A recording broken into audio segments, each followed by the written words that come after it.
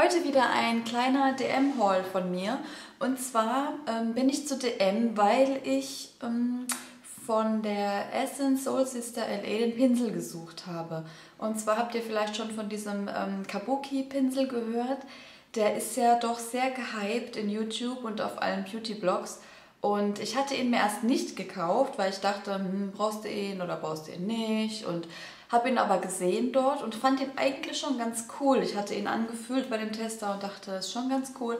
Habe ihn mir aber irgendwie nicht gekauft, wo ich das erste Mal mir die Soul Sister LA angeguckt hatte ähm, und die Sachen für die Verlosung damals gekauft hatte. Und habe jetzt aber auch über das Wochenende so viele Beauty-Blogs gelesen und wie alle von diesem Pinsel schwärmen, war ja oder ist unglaublich, ja. Ähm, wie toll er ist, wie, äh, ja, wie günstig er ja auch ist vom Preis-Leistungs-Verhältnis her und ja, wie perfekt er eigentlich ist, wie, wie toll gebunden und wie weich und wie ja, alles Mögliche drumherum. Und ich habe ihn überall gesehen und alle sagen, dass er auch schon fast überall ausverkauft ist. Und dann habe ich mir gedacht, toll, hast du ihn letzte Woche noch gesehen und hast ihn dir nicht mitgenommen. Ne? Und jetzt willst du ihn haben. Toll. Und, aber ich bin ja froh, dass äh, der DM, der bei uns hier ist, bei dem ich hier wohne, mh, hat immer sehr lange DLEs und es ist nicht immer sofort alles ausverkauft, so wie jetzt in der Innenstadt oder so bei uns. Das finde ich ganz gut. Und dann bin ich ähm, gleich hin und ähm, es waren noch drei da. Da war ich dann natürlich glücklich gewesen und ich habe mir dann gleich zwei mitgenommen und ich dachte, ich habe dann eben halt noch ein Backup oder wenn ich den einen wasche oder wie auch immer. Ich wollte halt irgendwie zwei mitnehmen und habe jetzt aber sogar schon beide im Gebrauch und gar nicht mal aufgehoben oder so. Aber ich zeige Ihnen zuerst euch mal. Und zwar sieht der so aus in der Verpackung. Ist so eine kleine Plastikröhre, kleine Plastikverpackung. Ähm, hier unten steht nochmal drauf. Ähm, Puderpinsel für dein Lieblingsbronzer, Puder von Essence. Genau, 70 Hairstyle. Und ich packe ihn mal kurz aus. Ich habe jetzt die eine Verpackung noch aufgehoben. Ich habe ihn natürlich jetzt schon benutzt, aber das sieht man jetzt ja nicht oder ist ja auch egal. Und zwar sieht er so aus. Hier steht das Essence Soul Sister drauf. Und er ist ganz kurz, so wie ein Kabuki halt und kurz gebunden. Er ist schon recht klein, wie ihr vielleicht seht, so zu meiner Handfläche. Und ist hier unten pink und oben schwarz. Und er ist einfach super. Er ist es sind so viele Haare, er ist so toll gebunden und er ist so, so zart und so weich. Ist wirklich ein super, super Pinsel. Also, ich weiß nicht, ich meine, ihr könnt das ja jetzt nicht sehen, wie weich er ist. Aber wenn ich auch da reingehe, seht ihr das? Oh, der ist so weich und das fühlt sich auf der Haut so toll an und ja, hm. und davon habe ich natürlich zwei. Hm, natürlich nicht, um sie gleichzeitig zu verwenden, aber ist toll. Wirklich toll. Ich liebe sie. Äh, gekostet hat einer 3,95, was äh, wirklich, wirklich günstig ist. Ähm, und ich habe das jetzt so gemacht, ähm, ich habe den einen äh, jetzt gestern und ich habe es heute jetzt auch gemacht, also ich habe ihn jetzt gestern gekauft, gestern und auch heute den einen für ähm, das Puder benutzt und den anderen für Bronzer. Und so habe ich eben ja, die zwei Puder, das eine für das, das andere für das. Und genau, finde ich ganz toll. Also ich benutze jetzt einfach beide. Ich habe jetzt kein Backup. Äh, falls mir jetzt in den nächsten paar Tagen im DM-Markt noch einer über den Weg läuft, werde ich noch einen mitnehmen als richtiges Backup. Aber so habe ich jetzt die beiden und den einen benutze ich wie gesagt, für das Abpudern und das kann man schön abpudern mit und ähm, den anderen benutze ich für Bronzer eben hier und hier hoch, weil er ist wirklich klein. Ihr seht ja, damit kann man gut auch den Bronzer auftragen, also ich zumindest, hat ganz gut geklappt und man kann es auch super verblenden. Das ist auf jeden Fall eine Kaufempfehlung, ähm, wenn ihr einen Kabuki suchen solltet, einen Kabuki wollt, ja, falls ihr ihn überhaupt noch findet, weil ich glaube, er ist äh, ziemlich ausverkauft. Aber falls ihr ihn findet, falls ihr einen wollt, ist das eine Kaufempfehlung für äh, 3,95. Mm, dann kommen wir jetzt mal zu Puder. Und zwar habe ich ein neues Puder gekauft. Das habe ich auch in YouTube jetzt bei einigen schon mal gesehen und dachte, ich kaufe es mir einfach mal. Und zwar ist es von Manhattan, von dieser ähm, Clear Face ähm, Linie. Die steht ja nicht bei dem Make-up, sondern bei mir stand sie jetzt im Regal von den ähm, Abschminksachen und Gesichtscremes und Lotions und Gesichtswasser und so weiter. Da wo dieses Regal ist unten war dann diese, dieser kleine Ständer von Clearface. Da gibt es Puder und auch Puder-Make-ups und so weiter. Und das habe ich mir jetzt geholt als Kompaktpuder. So sieht das aus. Ich habe die Farbe, was ist das, 75 Beige habe ich mir geholt und das ist äh, mit Zinkoxid mattiert und deckt Unreinheiten langanhaltend ab, ohne die Poren zu verstopfen. Das Hautbild wirkt sichtbar, verfeinert und ebenmäßig je nach Bedarf auf glänzende und unreine Hautaufpartie, Hautpartien auftragen. Sorry. Und da ist auch so ein kleines Schwämmchen dabei. Und damit geht es auch super. Man kann auch gut damit einfach so ein bisschen abtupfen. Das geht auch gut. Ich habe es aber jetzt halt auch mit dem Kabuki äh, aufgetragen. So sieht die Farbe aus. Und äh, ja, ist eine schöne Farbe, finde ich. Für mich das ist ganz gut. Ähm, ja, sieht man natürlich nicht so viel, klar. Ähm, ist noch ein Ticken vielleicht zu dunkel, aber ist jetzt für den Frühling oder den Sommer nicht so schlimm. Außerdem trage ich sowieso hier auch Bronzer nochmal drüber. Und bisher, ich habe es jetzt nur zweimal benutzt, finde ich es eigentlich ganz gut. Und es soll ja auch ähm, ja, es ist ja auch gut, also gegen Hautunreinheiten. Wie gesagt, ähm, normales Puder benutze ich zwar auch gerne, aber bei normalen Puder kann es ja vorkommen, dass es die Poren verstopft oder dass man vielleicht sogar eine, eine Allergie von bekommt, weil die Haut irgendwie drauf reagiert. Ich persönlich habe das Problem mit Puder nicht. Ich habe da wohl eine sehr ja, dankbare Haut, sage ich mal. Ähm, der macht es nichts aus, wenn ich mir da tonnenweise Puder drauf klatsche oder so. Ich bekomme da keine Hautunreinheiten davon. Aber es haben ja doch sehr viele Leute oder sehr viele Mädels oder Frauen haben dann Probleme damit, dass die Poren verstopft werden oder Hautunreinheiten auftreten. Und ähm, dieses Puder ist ja eben speziell äh, aus der Clearface-Reihe. Es verstopft die Poren nicht und es beugt Hautunreinheiten vor. Von daher kann ich das nur empfehlen, wenn ihr vielleicht eine sensiblere Haut habt und viele Pickel und Unreinheiten und ähm, ja, ihr da vielleicht mal was sucht oder so, würde ich euch das mal empfehlen, auszuprobieren. Auf jeden Fall. Ähm, vielleicht hilft es ja. Also, wie gesagt, ich kann jetzt natürlich nicht sagen, wie es gegen Hautunreinheiten wirkt, aber es beugt zumindest dann vor und es verstopft euch nicht so die Poren, wenn ihr damit Probleme haben solltet. Mm, das hat gekostet, lasst mich kurz schauen, 3,65 mm, hat das gekostet und finde ich auch in Ordnung vom Preis her. Dann ähm, machen wir weiter mit, ja, machen wir weiter mit der dekorativen Kosmetik erstmal. Ich bin ja am Catrice-Ständer jetzt da nicht vorbeigekommen. Seitdem es den jetzt gibt in DM, äh, muss ich da jetzt jedes Mal stehen bleiben, weil ich Catrice echt mag. Und ähm, dann hatten sie auch noch die neue LE, die Revoltaire. LE, die ich ja super süß aufgemacht finde. Äh, ganz tolles Design, wie ich finde. Habe aber nur ein Produkt gefunden, was mir gefallen hat, beziehungsweise was ich im Vornherein schon interessant fand von Blogs her. Und ähm, zwar ist das das Powder Blush. Das sieht so aus. Dieses Logo, diese Verpackung von Revoltaire heißt die LE, finde ich ähm, echt süß. Und das ist die Farbe Color Bomb. Und das ist ein Rouge mit außergewöhnlichem Farbverlauf für ein strahlendes Finish. Und zwar ist das so ein, ähm, ein Ombre-Muster, also sprich es geht von hell nach dunkel. Finde ich ganz cool. Oben ist eher so ein Peach-Ton und unten ein Pink, auch mit äh, Schimmer. Das Problem ist, vielleicht seht ihr schon diese kleinen äh, Glanzstellen da drauf. Seht ihr das? Und zwar habe ich ein Problem damit. Der Tester war super zum Swatchen. Ich habe ja ein Swatch gemacht und habe das gesehen. Das war ein schönes Rosa mit Schimmer. Und dann habe ich das gekauft, wollte es zu Hause probieren auf den Wangen und da ist und ist nichts abgegangen vom Pinsel und ich habe auf meiner Haut nichts gesehen. Und ich habe versucht zu swatchen und es ist nichts passiert. Und ich habe auch ein bisschen gegoogelt und ich habe sogar etwas darüber gefunden. Und zwar auf einem Blog habe ich gesehen, dass die Bloggerin ähm, das gleiche Problem hatte dass sie äh, drauf rumrubbelt quasi mit dem Finger und keine Farbabgabe möglich war. Sie hat nichts abbekommen an Farbe. Mit einem fluffigeren Pinsel ging es gerade so, aber mit dem Finger überhaupt nicht. Und bei ihr sah das Pfännchen, also beziehungsweise das ähm, Rouge, dann genauso aus, weil sie so feste gerubbelt hat.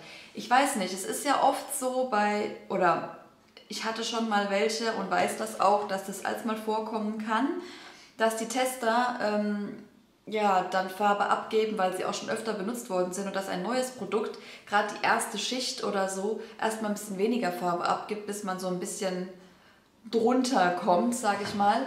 Aber das sollte ja eigentlich nicht sein. Und ich habe auch dann bei den Kommentaren, weil sie ja gefragt hat, ob es jedem so geht, habe ich bei vielen gelesen, dass es nicht so ist. Weil sie hat auch gesagt, oh mein Gott, hat sie jetzt ein Montagsprodukt oder so, wie man das so schön sagt, einen kleinen Produktionsfehler oder so. Es gab einige, bei denen es auch so war und es gab andere, bei denen sie gesagt haben, oh Gott, da geht so viel weg, da muss ich sogar aufpassen, nicht zu viel zu nehmen. Aber das ist bei mir auf keinen Fall der Fall. Von daher weiß ich nicht, ob ich euch das empfehlen soll, weil ich meine, von der Farbe her ist er richtig schön. Ich bin eigentlich zufrieden. Aber ich versuche es euch zu swatchen. Und ich habe jetzt heute Morgen richtig gerubbelt. Ich habe auch mal äh, mit einem Taschentuch drüber gerubbelt. Ähm, so, jetzt kommt ein bisschen mehr. Ja, es geht. Mit einem Taschentuch ein bisschen drüber gerubbelt, weil ich dachte, vielleicht mache ich mal so ein bisschen die erste Schicht weg. Und ja, also man kann schon ein bisschen was sehen jetzt. Es ist nicht so, dass man nichts sieht. Es ist auch ein Tick besser geworden, wie es gestern war. Und zwar, ja, seht ihr ja, das ist so ein Peach-Rosa mit leichtem Schimmer ist nicht so viel zu erkennen. Es ist also schon, aber es ist kein äh, sehr auffälliges Rouge. Aber ich glaube, das ist es prinzipiell nicht. Also da ist, glaube ich, nicht so viel zu erwarten. Es ist schon eher ein dezentes Rouge. Und ich bin aber jetzt damit schon zufrieden. Ich habe ihn auch aufgetragen, einfach heute so ein bisschen auf die... Ähm, auf die Bäckchen hier vorne drauf. Ich habe aber auch noch den, den High Beam ähm, als Highlighter hier oben drauf und dann einfach hier vorne ein bisschen drauf getupft. Ich wollte heute auch nicht so einen starken, weil ich einen neuen Bronzer habe, den ich euch auch zeige. Und dann habe ich das High Beam zum Highlighten und dann wollte ich nur so ein zartes Rosa hier über die Bäckchen legen und bin jetzt so prinzipiell eigentlich schon zufrieden, aber am Anfang habe ich auch erst irgendwie gedacht, hm, was ist da los? Vielleicht, er ist einfach unheimlich festgepresst. Wahrscheinlich liegt es daran. Jetzt, wo ich vielleicht öfter mit Pinsel und Fingern drin war, funktioniert die Farbabgabe auch besser. Aber ich glaube, er ist einfach nur zu hart gepresst. Ähm, der hat gekostet äh, Catrice 3,95. Aber an und für sich finde ich es eine super schöne Aufmachung von der LE und auch ein super schönes Rouge. Mm, von Catrice habe ich mir, wie gesagt, noch einen Bronzer geholt. Ich habe ja einige Bronzer, habe mir ja auch gerade letzt, habe ich euch auch im Haul einen gezeigt. Aber die sind mir irgendwie alle zu hell. Ich habe ja auch immer für helle Typen oder für Blonde geholt, weil ich ja doch sehr blass bin. Aber man sieht es auf meiner Haut irgendwie trotzdem nicht, weil er so hell ist. Und ich möchte ja schon einen Bronzer, den man auch ein bisschen sieht, wenn ich konturiere oder wenn ich ihn auftrage. Und jetzt habe ich mir einen geholt für Darker Skin. Bin ich zwar eigentlich nicht, aber ich wollte, wie gesagt, einen, der ein bisschen dunkler ist. Und zwar habe ich mir hier von Catrice, Sun Glow heißt der, Matte Bronzing Powder in Dark Skin geholt. Das ist hier die 02 Deep Bronze und ist auch super cool. Hier innen drin ist es so eingestanzt. Das Sun Glow finde ich ganz cool und die Farbe, mit der bin ich bisher auch zufrieden. Es ist äh, matt, was ich gut finde und so eine Farbe. Ist jetzt natürlich stark geswatcht auf jeden Fall. Und ähm, ja, also lässt sich gut verblenden, gut verteilen und dann, ja, riecht auch nicht so stark. Ich habe schon von Essence als mal welche gehabt, die haben so stark nach Kokos gerochen. Irgendwie, das mag ich ja dann irgendwie gar nicht. Und der riecht eigentlich noch gar nichts, nach normale Puder. Und den finde ich ganz schön. Der ist mir jetzt auch nicht zu so dunkel. Ich benutze ihn natürlich sehr, sehr dezent und blende ihn sehr gut aus. Aber ich bin damit äh, zufriedener wie den, den ich habe oder die anderen, die ich habe, die ich immer für hellere Töne geholt habe. Bin ich sehr zufrieden damit, kann ich nur empfehlen. Der hat auch gekostet 3,95. Dann äh, wollte ich einen Cremelidschatten, diese Long Lasting Eyeshadows, die Made to Stay, habe ich mir jetzt auch eingeholt, wollte ich unbedingt haben. Ich teste ja so, ja, diese ähm, von Maybelline, die Tattoo, die 24 Stunden. Die finde ich ja auch wirklich ganz gut, kosten ja aber knapp 8 Euro. Und ähm, dachte ich, probiere mal die von Catrice aus. Die haben ja auch, ich glaube, sechs Farben. Ja, sechs Farben, auch von, von hell bis grau bis schwarz, bis ich glaube auch so bläulich, bis kaki-grün. Und ja, sechs Farben. Ähm, kosten, lasst mich schauen, 3,45, was ja deutlich weniger ist wie ähm, der von die Tattoo von Maybelline Jade. Und ich habe mir geholt die Farbe 040, Lord of the Blinks. Sieht so aus. Und ich bin jetzt schon ein paar Mal mit dem Pinsel drin gewesen, also wundert euch nicht, dass das so aussieht. Weil mit langen Fingernägeln geht das nicht so gut, die mit dem Finger aufzutragen. Deswegen trage ich alle äh, Cremelidschatten mit einem Pinsel auf. Und das ist ein sehr, sehr schönes ähm, Champagner, Beige, Goldton, so ungefähr würde ich es beschreiben. Ist aber etwas heller. Ich wollte etwas helleres haben und nicht so was Dunkles. Hm, Moment, ich mache euch hier mal ein Swatch, dass ihr die Farbe erkennen könnt. So. So sieht das aus. Finde ich ganz toll. Hat einen ganz tollen Schimmer. Ist schön hell, wie gesagt. So ein Champagnerton, würde ich sagen, mit tollem Schimmer. Lässt sich sehr gut verblenden, hält sehr, sehr lange. Ich habe es gestern wirklich ungelogen bestimmt 10, 12 Stunden auf den Augen gehabt und ähm, hält super. Bei mir ist nichts in die Lidfalte gerutscht oder hat sich da zusammengebröckelt oder sonst irgendwie was. Ich habe es heute auch drauf. Ich kann euch mal ranholen. Ich habe zwar jetzt, gestern hatte ich in Solo drauf, ohne irgendwas, einfach nur das und ein Eyelinerstrich. Heute habe ich mir aber noch so einen Khaki-Grün in die Lidfalte rein, aber ihr seht die Farbe bestimmt trotzdem. Vielleicht könnt ihr es trotzdem erkennen. Hier innen zum Beispiel, also in der Lidfalte, wie gesagt, habe ich noch so ein Khaki-Grün. Und, ähm, aber man kann es trotzdem erkennen. Hier unten habe ich es auch. Ja, also wenn ich es mal wieder solo drauf habe, dann zeige ich euch es oder ich mache ein, ähm, mache ein Video oder so, ein Tutorial auf jeden Fall, werdet ihr das nochmal sehen in meinen Videos. Äh, Finde ich ganz, ganz toll und werde mir bestimmt auch nochmal eine andere Farbe holen. Vielleicht ein dunkleres in Grau vielleicht oder so.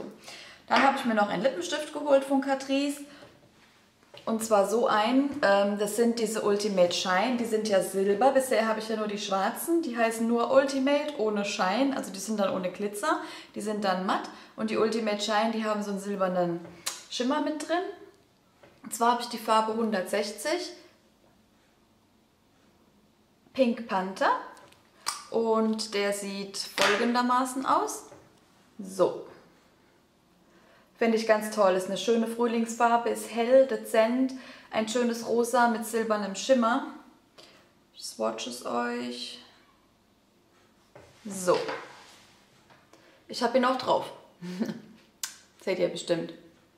Ein schönes helles Rosa mit silbrigem Schimmer. Das sind so richtige Glitzer. Seht ihr es? richtige Glitzerpartikel drin und ja. Finde ich nicht schlecht. Also, könnt ihr sehen? Ich finde ihn ganz schön. Er ist halt etwas dezenter und eine schöne Frühlingsfarbe. Und der hat gekostet 3,45 kostet so ein Lippenstift. Das war es von Catrice und auch von der dekorativen Kosmetik. Dann habe ich noch zwei Sachen gekauft und zwar habe ich ja von Balea, was ich auch verlost habe, von Mango Vanille das Duschsorbet und habe mir aber jetzt noch Body Smoothie gekauft, diesen Pumpspender. In, äh, das ist die gleiche Duftrichtung halt, fruchtig frisch, Mango Vanille und das ist halt ein Smooth und ja, soll ja, gut für die Haut sein. Erfrischt die Sinne. Jetzt wird es fruchtig. Die luftig leichte Geltextur mit Cooling-Effekt spendet der Haut eine extra Portion Frische und Feuchtigkeit. Und ich zeige es euch mal. Ups, das sieht so aus. So leicht, leicht peachfarben und ja, etwas gelig. Seht ihr ja auch, zieht aber schnell ein. Kühlt etwas, was ich mir ganz cool vorstellen kann, wenn es ein bisschen wärmer ist. Hat so wirklich so einen leichten Cooling-Effekt und riecht sehr gut, muss ich sagen. Sehr fruchtig. Sehr fruchtig, so nach ja, Mango. Dieses Vanille rieche ich hier genauso wenig eigentlich raus wie beim Duschsorbet, was ich aber nicht schlimm finde, weil ich mag sowieso eher dann die fruchtigen Sachen wie diese Vanilledüfte. Finde ich wirklich gut. Ähm, das hat gekostet 1,95. Genau. Und ich habe mir noch einen Nagellackentferner geholt von Essence. Der hat 75 Cent gekostet, weil meiner leer war. Und zwar habe ich mir so einen geholt, acetonfrei, ähm, feuchtigkeitsspendend und es ist, hat eine Duftrichtung. Ich habe es noch nicht probiert, ich weiß nicht, wie es riecht. Äh, Coconut Papaya. Ich weiß nicht, ich habe jetzt so auch noch nicht gerochen. Ich meine, ich rieche normal nicht an Nagellackentferner. Okay, riecht äh, auf den ersten äh, Moment hin schon nach Kokosnuss. Also ich bin gespannt, das riecht schon stark nach Kokos. Es gibt auch noch einen roten, ähm, der hat dann die Duftrichtung Erdbeer-Vanille. Da war ich mir aber nicht so sicher, ob mir das zu unangenehm ist vom Duft her, weil, wie gesagt, mit Vanilledüften bin ich da immer so ein bisschen eigen. Und ja, der hat 75 Cent gekostet. Ähm, ich probiere ihn einfach mal aus, wie er ist. Bei Nagellackentfernern habe ich jetzt auch nicht immer so was Festes, da teste ich mich einfach immer mal durch und ich werde euch berichten, wie ich ihn finde. Und ja, das waren die paar Sachen, die ich gekauft habe, obwohl ich eigentlich nur diesen Kabuki gesucht habe. Aber ihr wisst ja, wie das ist. Geht auf die Suche, wirklich, wirklich, wirklich, Leute. Geht mal gucken in eurem DM, ob ihr die LE noch habt und diesen Kabuki. Er ist so toll. Er ist so toll. Er ist so toll. ja, ich äh, finde ihn toll. Habe ich das schon gesagt? Ich glaube, das habe ich schon mal gesagt, oder? Hatte ich bereits erwähnt. Sorry, meine Euphorie äh, merkt man. Mm, ja, dann war es das auch für heute, meine Lieben. Ich wünsche euch noch einen super schönen Tag. Ich hoffe, ihr hattet Spaß beim Zugucken. Dankeschön, dass ihr dabei gewesen seid. Bis zum nächsten Video. Ciao.